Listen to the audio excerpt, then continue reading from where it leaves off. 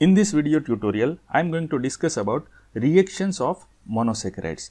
There are many reactions of monosaccharide.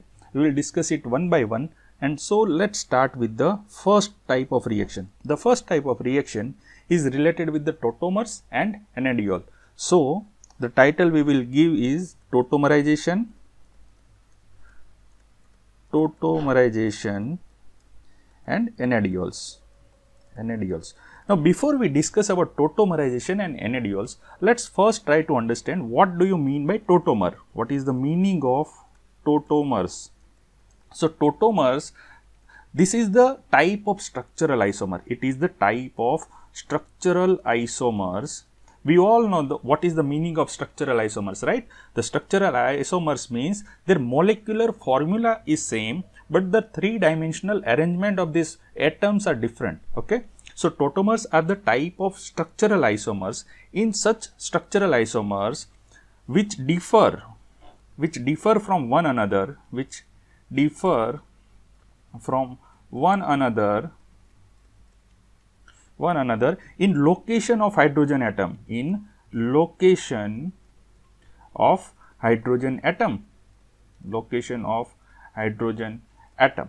So, whenever such types of isomers are there, we call it as a tautomer and when the one isomer is converted to another isomer, one tautomer is converted to another tautomer, we call that process as a tautomerization. Now, the second important term that we need to understand is what is the enediols. So, enediols, what is the meaning of this enediols? Now, enediol is any compound, it is any compound having a 2 hydroxyl carbon. So, let us draw it. This is 1 hydroxyl carbon and this is second hydroxyl carbon. So, enediols is any compound having 2 hydroxyl carbon which are bonded with each other by double bond. So, this double bond. So, now this carbon has 4 valency, 3 valencies are already there, this is 4th and for this carbon also this is 4th valency. So, if any compound having such a such a structure in its larger structure is there, we call it as a enediols.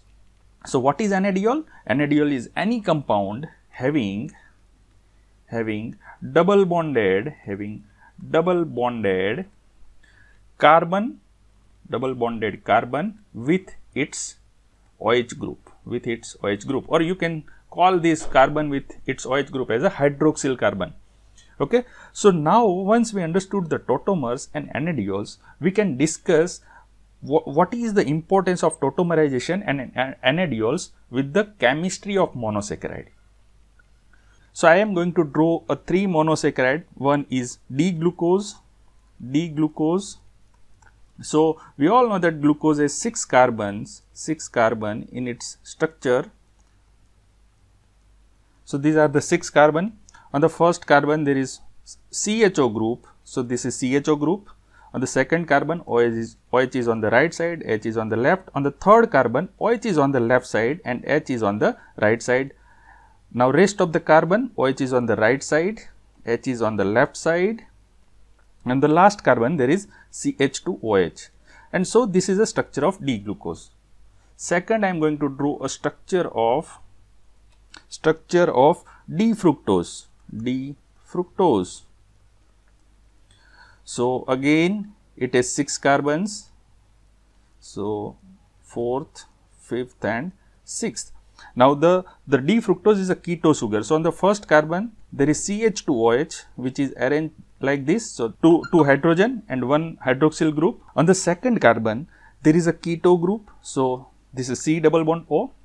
The rest thing, the rest of the things are as is similar to the D-glucose. So, so, on the on the fourth carbon we have OH on the right side, H on the left side, fifth carbon also OH on the right, H on the left and last carbon is the CH2OH.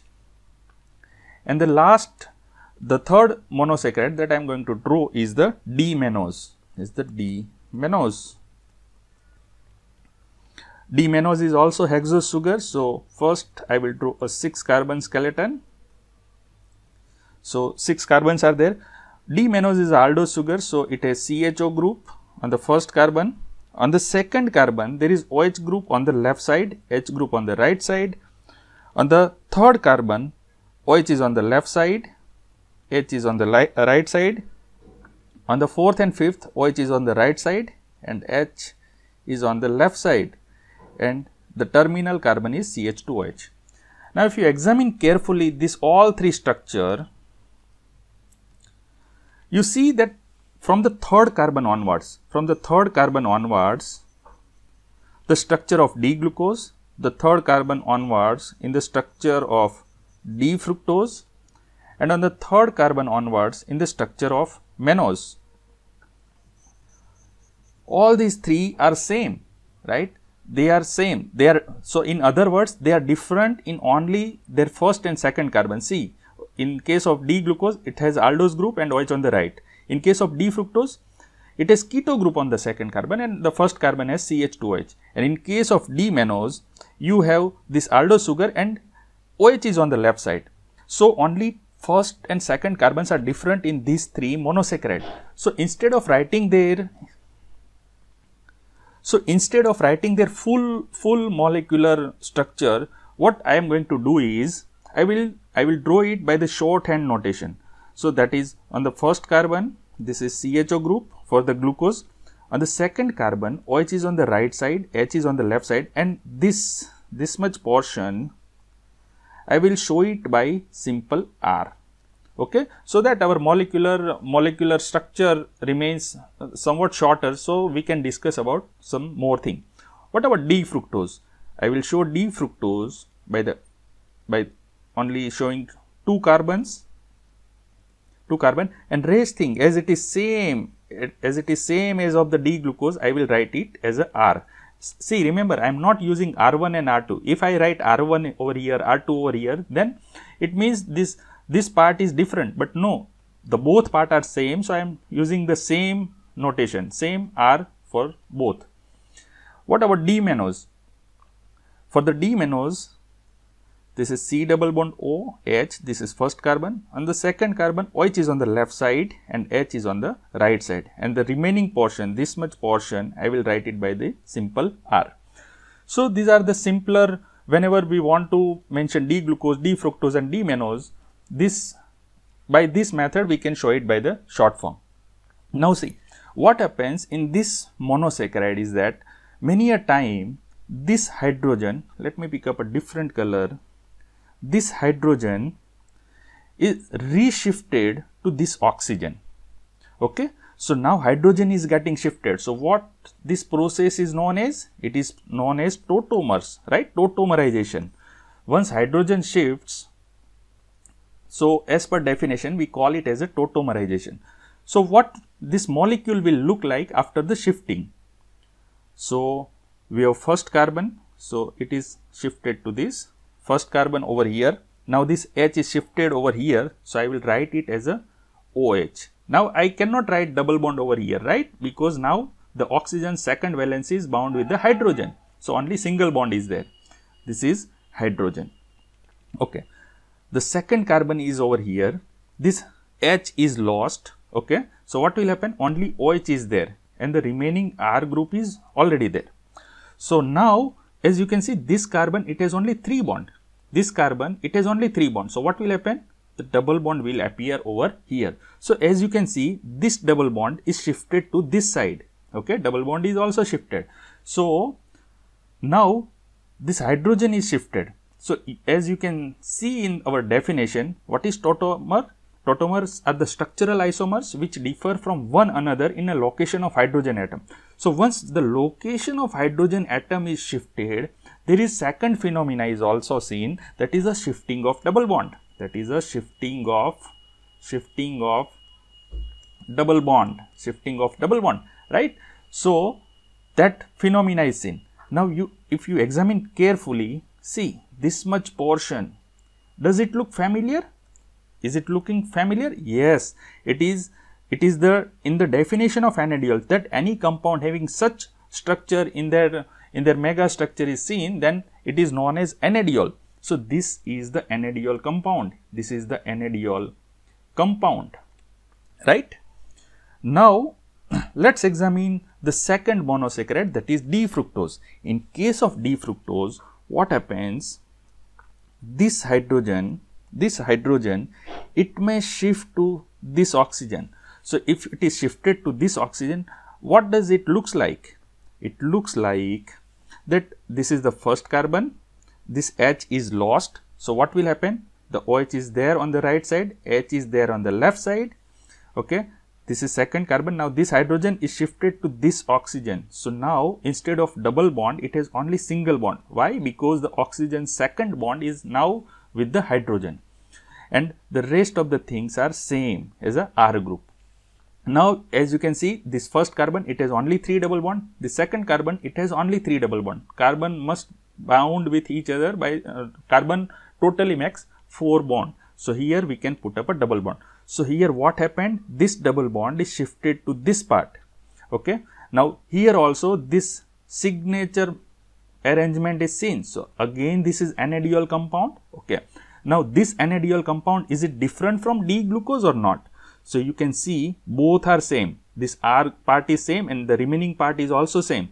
So, instead of instead of newly writing I can say this part can also convert into the same enediol compound in which glucose is getting converted right. So, so I am just uh, let us remove this part.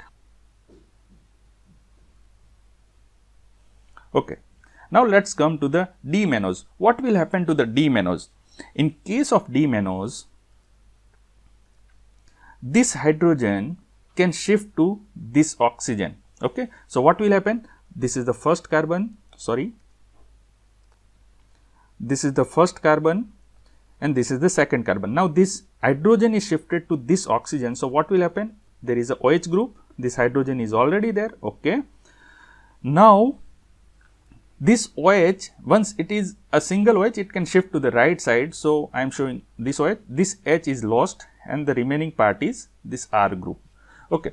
Now, again this carbon has 3 bond this carbon has 3 bond if we put up a double bond over here its 4 valencies are satisfied. Now, this is also a same compound as it is formed by either D glucose or D fructose. So, what we will do this D-mannose can also convert to this enediol compound, this enediol compound and let us remove this compound. Okay. Now, this is not a one way, one way road. It, this reaction is reversible. This reaction is reversible. So, I would like to show it by the reverse arrow. Okay. This part is also reversible. So, as you can see this tautomer, these are the tautomers, right? That glucose is converted to enediol compound, fructose is converted to enediol compound back and forth and mannose is converted to enediol compound. It is back and forth for uh, fashion. Now, these enediol compounds, they are powerful reducing agent. They are powerful reducing agent, reducing agent.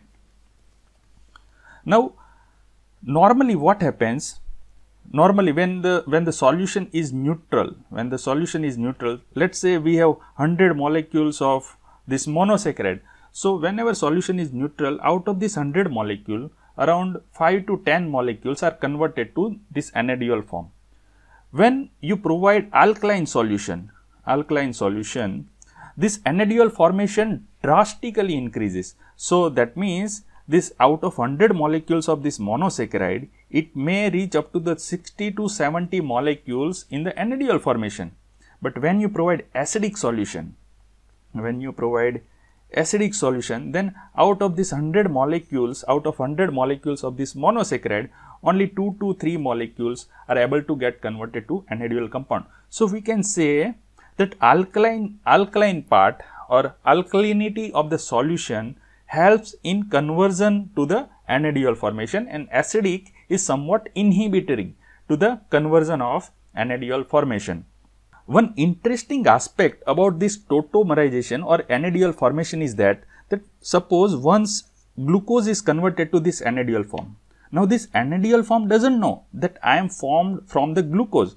So, it can reconvert to the D fructose or it can reconvert to the D mannose, right. So, suppose what will happen? that if you uh, if you take up a glucose solution and make it slight alkaline and let it stand for 2 to 3 days what will happen after 2 to 3 days when you examine this solution it will be containing D-glucose, it will be containing D-fructose and it will be containing D-mannose.